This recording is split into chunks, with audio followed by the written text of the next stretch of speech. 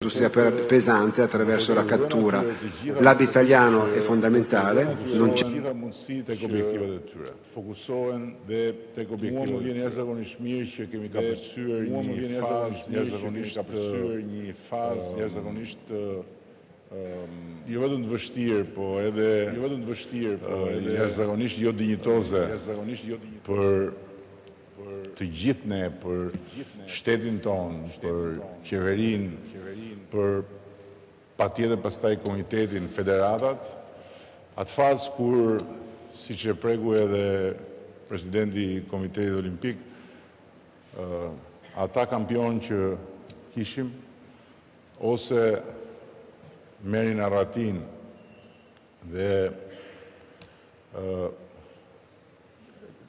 hynin në garë për flamuj të tjerë, ose edhe kur arrinin ndonjë rezultat me flamurin shqiptar, mbeteshin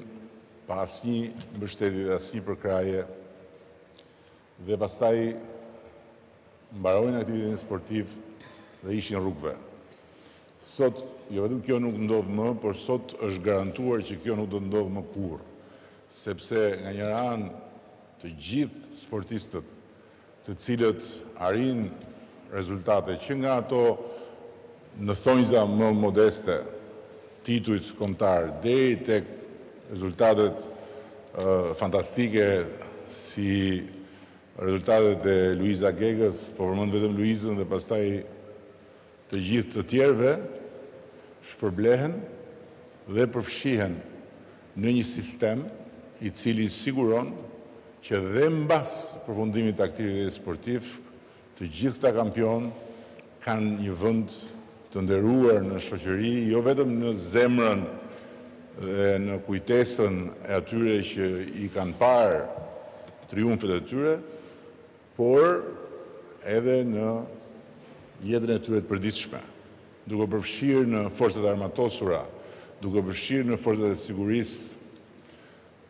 duke pasur grada të larta, të cilat natyrisht nga një anë janë simbolike sepse ata nuk ushtrojnë veprimtari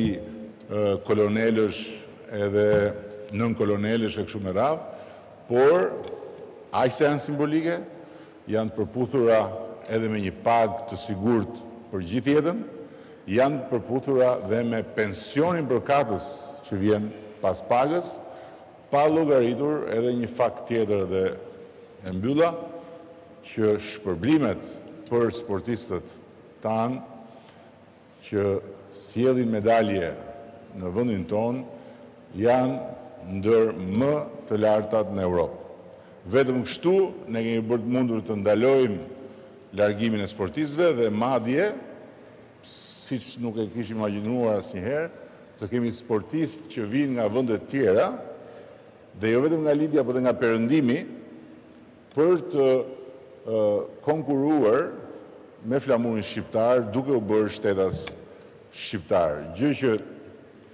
zakonisht e kanë bërë vendet me shumë më tepër fuqi. Dhe më vjen po aq mirë që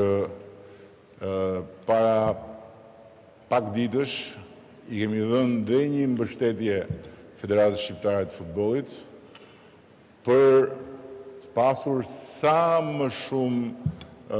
lehtësi në aspektin e organizimit dhe në aspektin e përgatitjeve në rrugën drejt Europianit të vitit të ardhshëm. Megjithatë, unë besoj se më e mira është e gjitha përpara dhe se jemi në një proces edhe në aspektin e e çuarjes së gjithë lëvizjes sportive në një nivel tjetër, njësoj si procesi që kemi filluar me lëvizjen sportive në shkolla, që është një themel shumë i rëndësishëm, por që kërkon edhe kohën edhe durimin e nevojshëm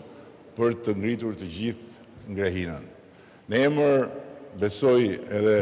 të të gjithëve ju, dua t'i bëj një falënderim shumë të posaçëm Presidentit të Komitetit Olimpik Europian, i cili i cili na nderon sot me praninë e tij, së bashku me Sekretarin e Përgjithshëm,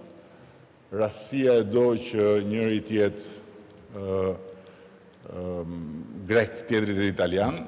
kështu që grek, italian, shqiptar jemi në një familje, kemi dhe një brazilian për mos prish syrin e keq.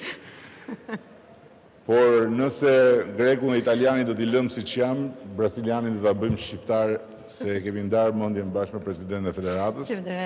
por edhe ai, edhe ai e ka, e ka pranuar me kënaqësi